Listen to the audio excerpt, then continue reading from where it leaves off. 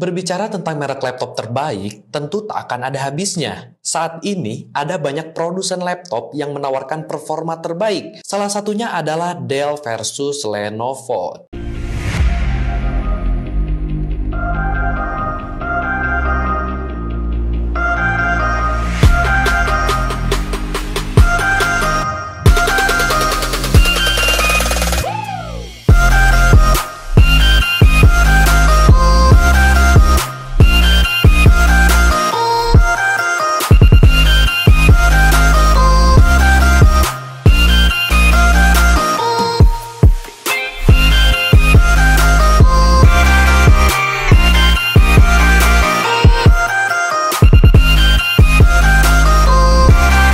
Dari merek tersebut telah lama berjuang dalam memproduksi varian laptop di berbagai kelas, mulai dari laptop hybrid to in one mungil hingga beberapa laptop gaming terbaik. Jika kamu bingung untuk memilih antar kedua merek laptop terbaik ini, berikut ini kami sajikan perbandingan laptop Dell versus Lenovo. Simak baik-baik ya. Ada pembahasan kali ini, kami akan menilai Dell versus Lenovo melalui berbagai segmen, mulai dari harga keseluruhan, estetika desain keseluruhan, laptop produktivitas, dan laptop gaming. Harga laptop Dell versus Lenovo Meskipun baik Dell maupun Lenovo tidak dapat dianggap sebagai merek laptop low budget, kedua pabrikan memang menawarkan beragam model yang sesuai dengan setiap tujuan dan anggaran. Dari konfigurasi awal Dell XPS 13 dengan harga terjangkau hingga varian Chromebook terjangkau yang ditawarkan oleh Lenovo, pembeli dengan budget terbatas harus dapat menemukan laptop yang memenuhi kebutuhan mereka. Seri produk game Lenovo Legend memiliki berbagai konfigurasi yang menakjubkan untuk untuk harga yang masih terjangkau. Kami pikir ini memberi Lenovo sedikit keunggulan dalam hal budget, meskipun Dell memang memiliki laptop gaming G series yang lebih murah. Ini tidak terlalu mengesankan. Perbandingan desain dan tampilan Sementara laptop produktivitas teratas Dell XPS 17 hingga Precision 5750 yang lebih tua. Keduanya menampilkan desain yang sangat elegan. Ini melambangkan estetika yang ramping dan profesional. Di sisi lain, varian laptop profesional Lenovo tidak begitu bergaya.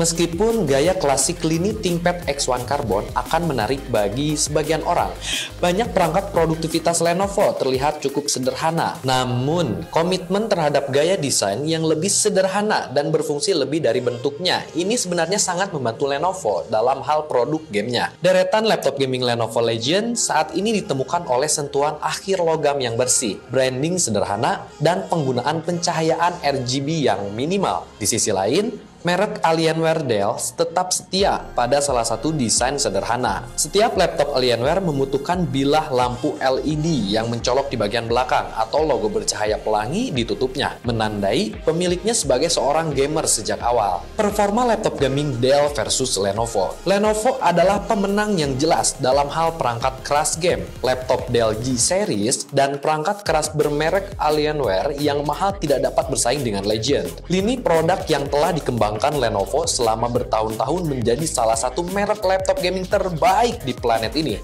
Itu tidak berarti bahwa perangkat gaming Dell buruk. Kami telah meninjau beberapa laptop Alienware yang sangat baik dan perombakan desain Dell G5 yang telah lama ditunggu-tunggu akan mendarat di tahun ini. Kami telah melihatnya dan itu terlihat sangat bagus.